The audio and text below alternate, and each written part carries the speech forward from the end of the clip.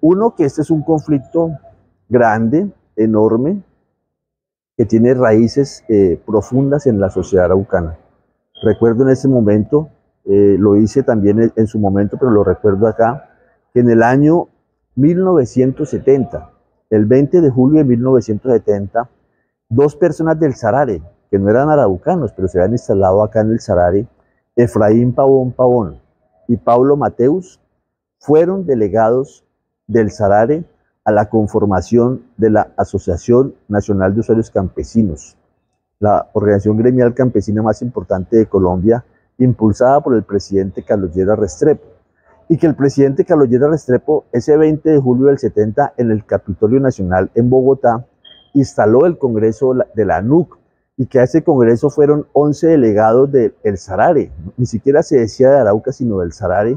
a ese Congreso fundacional. De esos 11, hay dos personas, Pablo Mateus y Efraín Pavón, que van como delegados.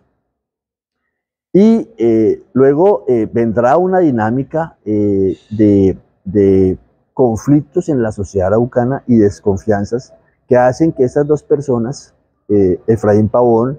que hacia los años 70 era, fue el gerente de Coagrosarare, que una organización que todavía existe, pero en el año 70 Efraín Pavón fue el gerente de Coagrosarare, luego de una pelea con el INCOR y la Caja Agraria, que eran los que manejaban la cooperativa,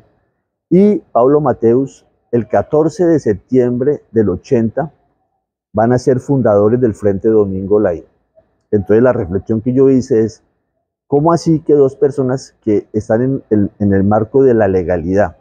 de la, de la, relación con el gobierno, participando de una organización gremial como la ANUC, de una cooperativa como Acoagrosarari, se vuelven guerrilleros? Esa es la profundidad del conflicto armado en Arauca. O sea, hay que reconocer que aquí tenemos un conflicto enorme, que hay una desconfianza enorme de una parte de la sociedad araucana frente al Estado Nacional y que ha pasado mucha agua bajo el río, podríamos decir, y lo hago con respeto, ha pasado mucha sangre en estos últimos 44 años de permanencia del ELN y de las FARC que aparecieron en el mismo año. Y mi reflexión con lo que tú me planteas, Miguel, es, es innegable que el conflicto armado ha tenido una relación con la política araucana. O sea, las organizaciones ELN y FARC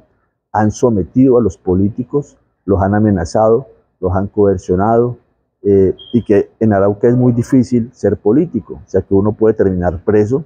como en este momento lo están eh, los gobernadores Ricardo Alvarado Bestene y Facundo Castillo Cisneros, acusados en temas de corrupción y de vínculos con los grupos armados. No son los dos únicos gobernadores que han sido judicializados. Recordemos que también ha sido judicializado y está condenado el, el, gobernador, el gobernador em, Lozano. Eh, Lozano está condenado, ¿cierto? Eh, eh, que en su momento fue, bueno, hay, unos que han sido judicializados y han podido demostrar su inocencia, como es el caso del gobernador Federico Gallardo, que fue enjuiciado y que no, y nunca se le pudo comprobar y salió libre. pero digámoslo, y tenemos el caso de los gobernadores que han sido asesinados, el caso del primer gobernador, ¿cierto? eh, el también Alfredo Colmenares Chía. Gracias por, recordarme la memoria. Eh, o el caso de una persona que no fue gobernador y que hubiera sido un extraordinario gobernador, como Octavio Sarmiento. Ambos dos asesinados